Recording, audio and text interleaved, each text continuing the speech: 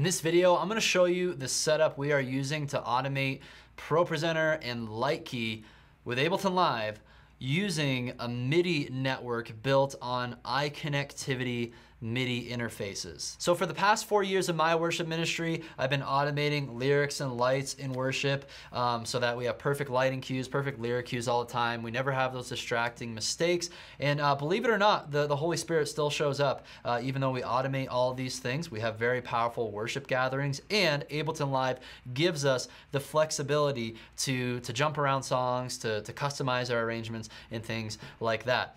Anyhow, we were using uh, the MIDI Network Session app which is built into Mac computers, into the operating system. We're using this app to make the connection uh, over Wi-Fi or over uh, a wired LAN Ethernet network um, to get these computers to start talking to one another over MIDI. Um, so this is that MIDI network setup app right here. Um, and you know, you've probably seen some of my videos on this or you've even maybe taken some of my courses and I show you this, this route of, of making this connection.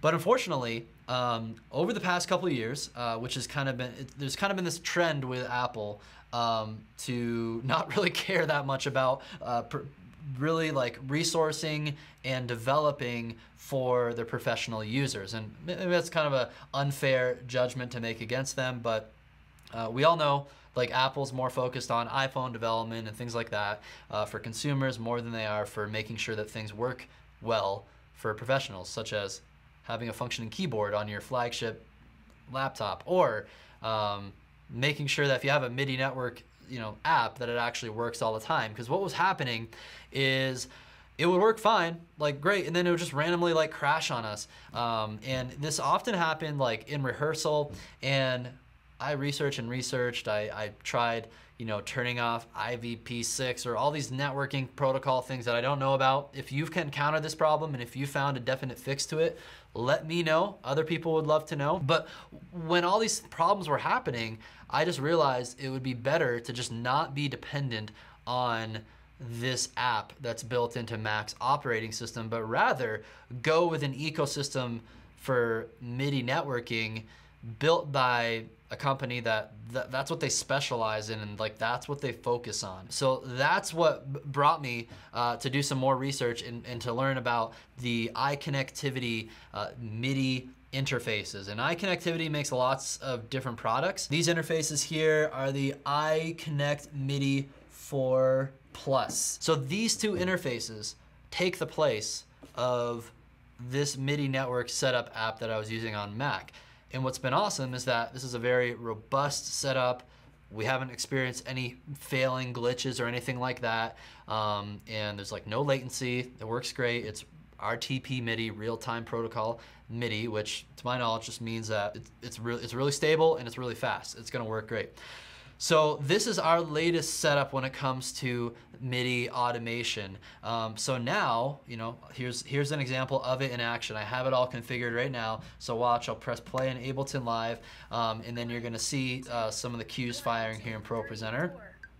So just started Only King Forever, and then we have uh, key. We're gonna see some lighting cues go on here as well. So all of this is happening, all this automation is happening over uh, uh, Ethernet local area network. That's why I have this switch right here, and these interfaces are connected to this, and then these interfaces are also connected to the computers, and all this automationing um, is happening, and it works really, really well. So let me break down for you just briefly this hardware setup that we have going on. So we have two of the iConnect MIDI 4 pluses, just a stellar name choices here, iConnectivity in your interface. Anyways, the, the iConnect MIDI 4, whatever we call it here, we have two of these. And the important thing is that you have to have the interfaces that have the ethernet jack on the back of them so that they can be, be ready to plug into a local area network and they can start talking to each other.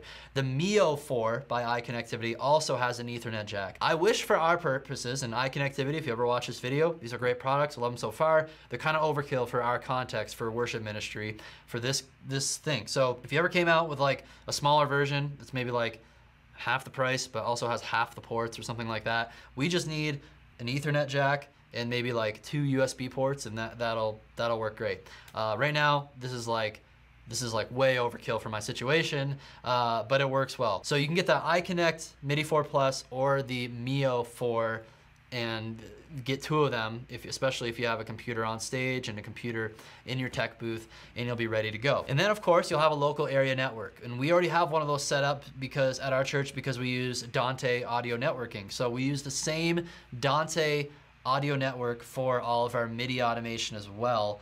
Um, and here's what it looks like. You have a ethernet switch um, and maybe you have multiple switches and then you just make sure everything's plugged in together in the same network and then all these computers can start talking to each other. Then you'll notice that these computers are plugged into these interfaces, like this is in this interface via USB jack 1, and this is in USB jack 1 on this interface, um, because the MIDI signals are going out of Ableton through the USB cable into this guy, and then out of the Ethernet jack on this guy into the Ethernet network, doing all the magical network stuff, and then into the Ethernet jack on the back of this guy, out of the USB cable into this computer.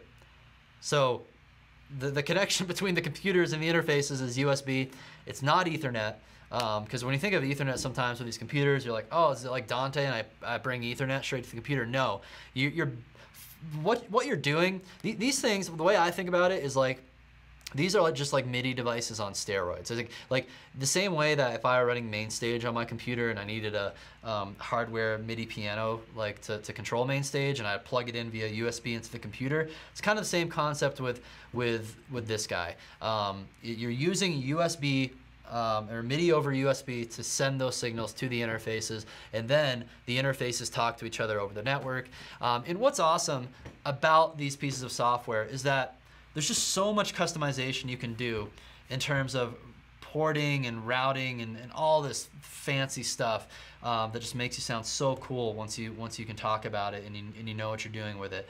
So like you could you could do ridiculous stuff. Like you could tell it let's say let's say I use this illustration but I don't know who who would use this. But let's say you have a computer in your tech booth running MainStage right? Next to your mixing console. I don't know why why you do this but let's say you have one there. But you wanted to have your, your piano, your, your MIDI controller piano, like a Novation Launchkey on stage, controlling that, that computer back in the tech booth. So like I could play, I could basically connect the keyboard into this guy. It's gonna send the MIDI signals over the network uh, to this guy, and then this is gonna be plugged into that computer running MainStage, and there you go. Like you're, you're playing keyboard on stage and MainStage running your tech booth on another computer. Or maybe a more practical application is I could use my Looptimus or my tech booth team, I could get them a Looptimus or some sort of MIDI triggering device and it would be plugged into their interface up here and then it would send those MIDI notes through the network into the, the, interface that's on stage with Ableton, into the computer running Ableton to trigger our songs and stuff like that. Uh, we already have a different setup we do that. Like I have this little remote setup app that I use so they can hit like bumper cue, from here, and then you'll see that it just queued up the bumper on ProPresenter, but it controlled this Ableton project. Um, there's some really advanced stuff um, that you can do with this, and, and this just kind of takes it to another level in terms of how much hardware you can plug into your MIDI automation system and, and how much customization you can accomplish. So that is our MIDI automation setup. I just created a course on how to set this up. It's like, I think it's gonna be like an hour long course because it's, it's pretty in-depth stuff and I really try to help you wrap your mind around how all this stuff works so then you can kind of run with it and do whatever you want to accomplish. So uh, I just finished up the lesson. It's, really going to be a lesson for my lead worship with Ableton course which is inside of either worshipleaderschool.com or worshiptechschool.com. So if you're a student uh, and you've been automating things but you've been facing these same glitches that I have uh, been with the Mac networking, MIDI networking app, then I recommend going this route. Uh, and you can follow the, the instructions and the lessons to get that done uh, and to get this set up at your church.